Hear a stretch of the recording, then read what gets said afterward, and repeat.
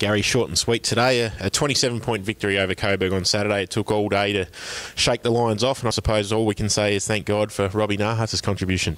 Yeah, I reckon that's probably as short and sharp as it needs to be, to be honest, mate. And um, probably Tommy O'Sullivan too, with his 37 possessions. I thought he led the way in the midfield, and yeah, if you analyse, it ended up being just over a five goal win, and Robbie kicked six goals. So I thought he was the difference. It probably never reached any great heights, the game, and it probably says a fair bit about if you're not able to master the fundamentals and the basics and put yourself in a good position to, I guess, handle the pressure, take the heat, and then do something positively. But yeah, I thought we were pretty reactive most of the day.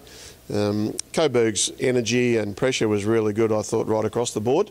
And um, yeah, that last quarter when we kicked, what, five goals, three, was really super important because there wasn't much difference between the two sides up till three quarter time. Mm.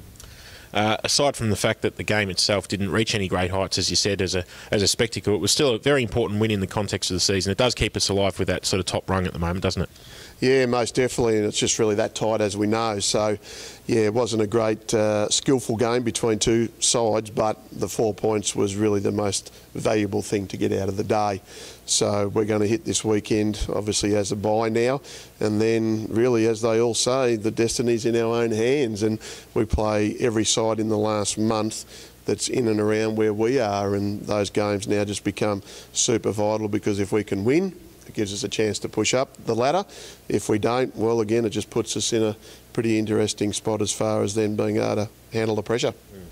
Uh, and we have got that bye in round 17 before we tackle those final uh, block of, of, four games. What's the plan in terms of you know refreshment or training and or you know local home club appearances for this week?